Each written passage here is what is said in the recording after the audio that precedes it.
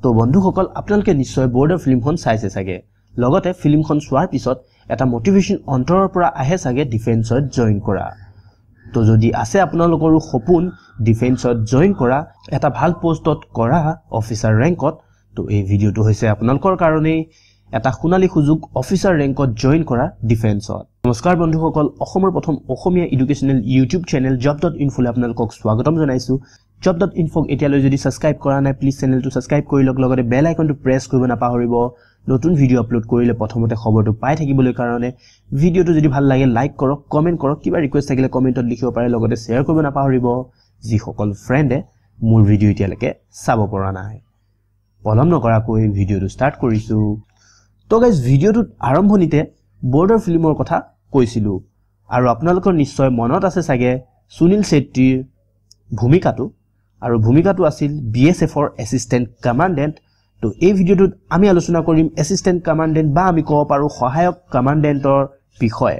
Guys assistant commandant চমুতে আমি ক'ব পাৰোঁ এ চি আৰু যদি ইয়াৰ সমান পোষ্ট চাব বিচাৰোঁ ইকুইভেলেণ্ট পোষ্ট চাব বিচাৰোঁ তেনেহ'লে হ'ব এছিষ্টেণ্ট কমিশ্যনাৰ অফ পুলিচ চমুতে এ চি পি বা deputy superintendent of police D S P এটা গ্ৰুপ এ গেজেটেড অফিচাৰ ৰেংকত চাকৰি central armed police force of India বা আমি চমুতে ক'ব পাৰোঁ চেণ্ট্ৰেল পুলিচ ফ'ৰ্চত ভাৰত চৰকাৰৰ মিনিষ্ট্ৰী অফ হোম এফেয়াৰ্ছৰ অধীনত কেন্দ্ৰীয় পুলিচৰ সহায়ক কমাণ্ডেণ্টৰ পদ B S F I T B P S S B C R P F and C I S এফত আপোনালোকে জইন কৰিব পাৰিব।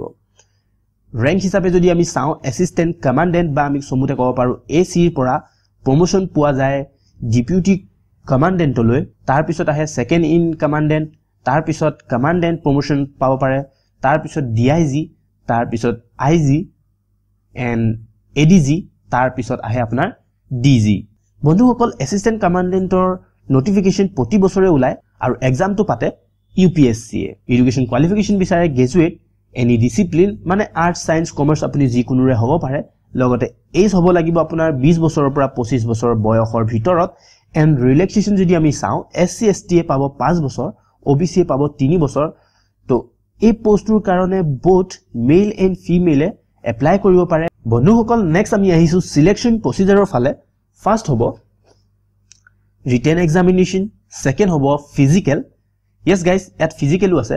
আৰু ফিজিকেল যদি আমি চাওঁ তেনেহ'লে এশ মিটাৰ ৰানিং আঠশ metre running and long jump and shot put থাকে। নেক্সট থাৰ্ড ষ্টেজ হৈছে ইণ্টাৰভিউ বা আমি ক'ব পাৰোঁ personality test next guys fourth ষ্টেজত আছে ফাইনেল চিলেকশ্যন বা আমি ক'ব পাৰোঁ মেৰিট লিষ্ট তো গাইজ এই পষ্টটোৰ কাৰণে এপ্লাই ষ্টাৰ্ট হৈছে পঁচিছ এপ্ৰিলৰ পৰা লাষ্ট ডেট হৈছে একৈছ মে' এইবাৰ টোটেল পষ্ট আছে তিনিশ আঠানব্বৈটা থ্ৰী নাইণ্টি এইটটা আৰু যদি আমি কেটেগৰী ৱাইজ চাওঁ বি এছ এফত আছে ছিক্সটি চি আৰ পি এফত আছে one seventy nine C I S এফত আছে এইটটি ফ'ৰ এছ এছ বিত আছে twenty nine and I T B পিত আছে ফৰ্টি ছিক্স ত' গাইজ এপ্লিকেশ্যন ফিজ বিচাৰিছে two hundred general and O' B C কেণ্ডিডেটৰ কাৰণে আৰু যদি আপুনি ফিমেইল এছ চি বা এছ টি হয় তেনেহ'লে আপোনালোকৰ কাৰণে ফ্ৰী এপ্লাই কৰিবলৈ ভিজিট কৰক ইউ পি এছ চিৰ official website U P S C dot gov dot in লগতে এই লিংকটো মই ভিডিঅ'টোৰ ডিছক্ৰিপশ্যনত দি দিম আপোনালোকে তাৰ পৰা ফ'ল' কৰিও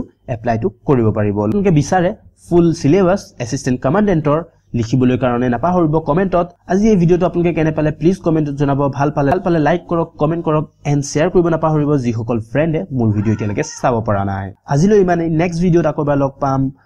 বাই জয় আই অসম।